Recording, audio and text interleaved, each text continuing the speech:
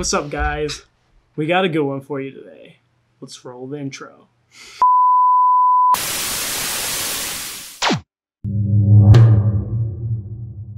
Alright, so today we are going to be talking about a vintage lens that almost everybody has heard of the Nikon 105mm 2.5.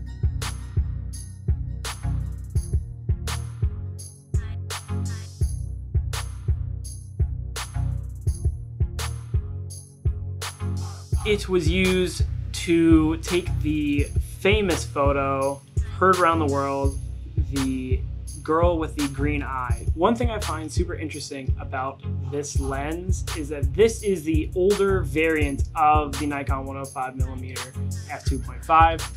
Uh, and recently I discovered that it is a Sonnar design.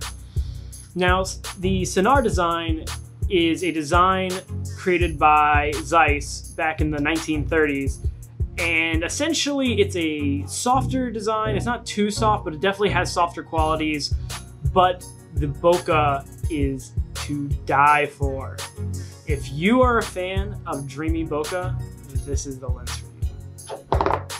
Just look at that rear element. It sticks out so, so far back.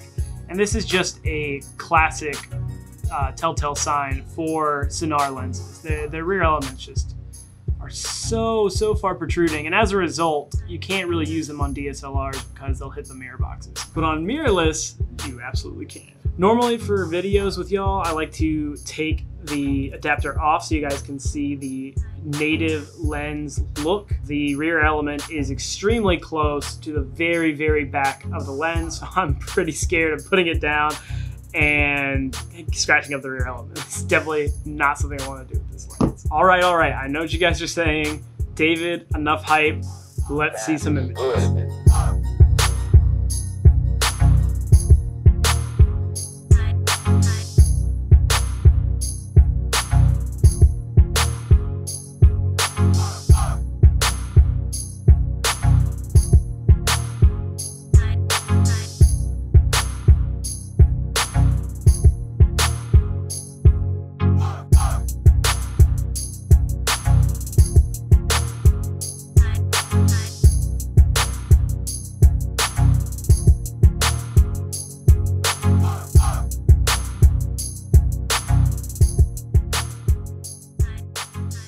As I've mentioned in the past, I used to take sharpness as, a, as the number one priority, but in my more recent years of photography, I have found that, especially as a por primarily portrait photographer, that having a, uh, something like a Sonnar where it's not necessarily ultra soft, but soft enough to smooth out the skin tones really is a nice thing to have.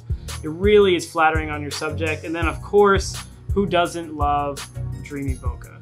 So for a while, this little guy fell by the wayside. I sold my Sony a7. I tried to have a stint with crop sensor, and with the crop, this lens is pretty darn long, a little too long. I like to be very interactive with my subjects when I'm doing portrait photography, but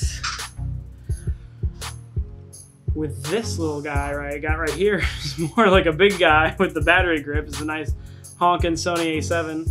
Uh, luckily, I can start getting more photos with uh, this Nikon. I'm really excited about it. Let's pop it on real quick. Ooh. That's a big boy. It's absolutely amazing 35 millimeter.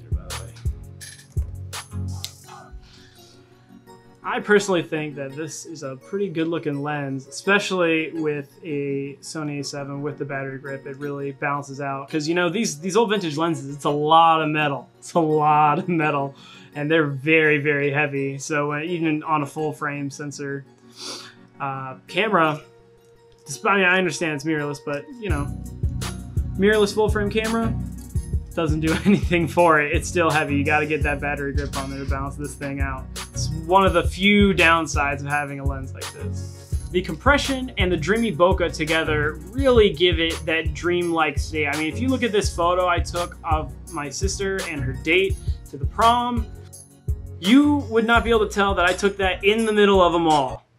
Yes, I took it in the middle of a mall.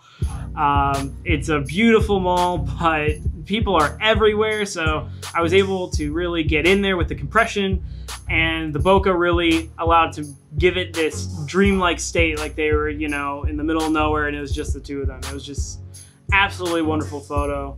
I was happy that I had the right lens at the right time for it, and this is the lens that I got for me. So you guys may have remembered from my last video uh, that photo of Brian that I showed you with the absolutely gorgeous flare. Uh, used really artistically. I, I, I, absolutely loved it. It's not everyone's cup of tea, but personally, I love a good lens flare. And this is the lens I got that flare with. So if you are willing to work with the sun, work with lights around you, this 60s lens has very little in terms of coating technology to prevent flaring. So if that is something you're going for, this can definitely make it a lot easier for you uh, to get some really, really stylistic flaring in your photos. It's actually quite a treat to play around with. Um, maybe not something I would do for professional work, but you know, I was just at work taking photos of my friends, you know, while I was off and he really seemed to like it. So I was glad I could uh, could mess around and get some good results for him.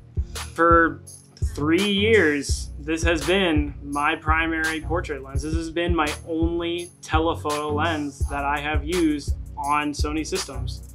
And it has served me very well. I, you know, the the manual focusing, while may not be as heavy as the Minolta that I have and I love and it's my favorite, uh, this is absolutely beautiful. It's still very smooth. It's a little bit lighter, so if you're looking for something like video where you can kind of get a nice quick pull, you know, it's going to be a lot better for that, but consequentially, it's not going to be quite as precise. And that's just something that you got to get used to with this lens.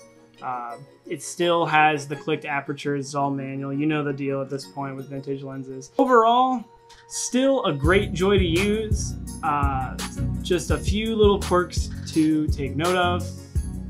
So I'm not quite sure when they put this lens into production, but I do know that if you are going to pick up a Sonnar design uh, at 105 2.5, you are going to have to buy one with a serial number starting with a 2 and those went out of production in 1971. They switched back to a conventional design.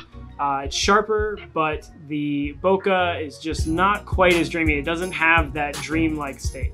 But yeah, I know this one's a little bit shorter, but this lens is just absolutely a treat. There's really not much I have to worry with on this lens. This lens is, you know, good to go. Alrighty guys, that's about it. Make sure you like, comment, subscribe if you enjoyed this video, and I'll try to get some more vintage lenses out as fast as I can. Thanks so much. Bye.